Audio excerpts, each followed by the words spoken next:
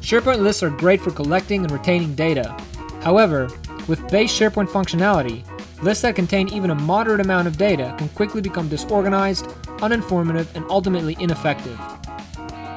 The Bamboo Data Viewer web part addresses this limitation by allowing your user base to create their own custom views on the fly without ever having to interact with the original data source. In doing so, end users are able to manipulate, group, and rearrange the content of the web part without needing to alter what everyone else sees. With Data Viewer, you can connect to lists or libraries across sites, site collections, SQL databases, Bamboo's list rollup, or business connectivity services. You can simultaneously add, modify, and delete entries.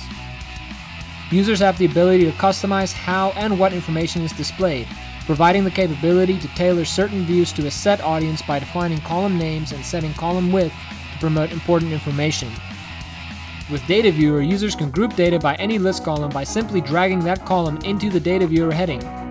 Additionally, Data Viewer allows users to filter through and search data with built-in logic features such as equals and greater than.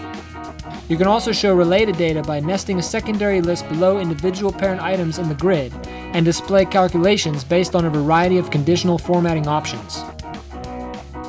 You also have the choice to modify the web part skin to fit in with the site theme or choose to further customize the look and feel with CSS. Bamboo's Data Viewer is a user-friendly, easy-to-use web part that helps users make sense of long and complex lists and libraries. For more information about Data Viewer or to try it for free, click on the link in the description or visit our website at bamboosolutions.com.